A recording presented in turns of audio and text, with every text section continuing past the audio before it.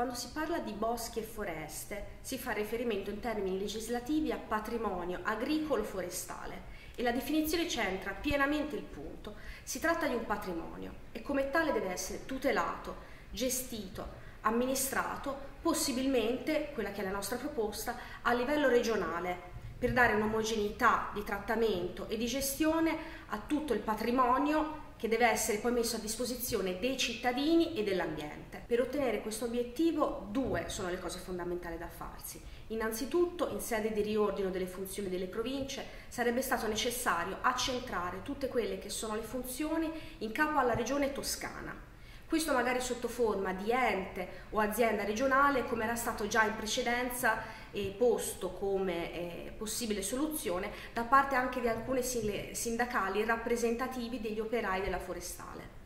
Da questo punto di vista poi è fondamentale che ci sia uno stanziamento di fondi congruo a quelle che sono le finalità cioè la Regione Toscana, l'assessore al bilancio e l'assessore Remaschi devono fare una scelta se investire in quello che rappresenta il 50% del territorio toscano, perché tale è la superficie ricoperta da boschi e foreste in Toscana. Sono attualmente operativi 500 operai forestali in Toscana e ad essi gli è stato dimezzato il contributo. Questo significa minor manutenzione, minor tutela, minor lavoro in quello che appunto noi definiamo essere un patrimonio. È uscita una delibera di giunta non più tardi di ieri sera, cioè esattamente poche ore prima della manifestazione che si è svolta questa mattina,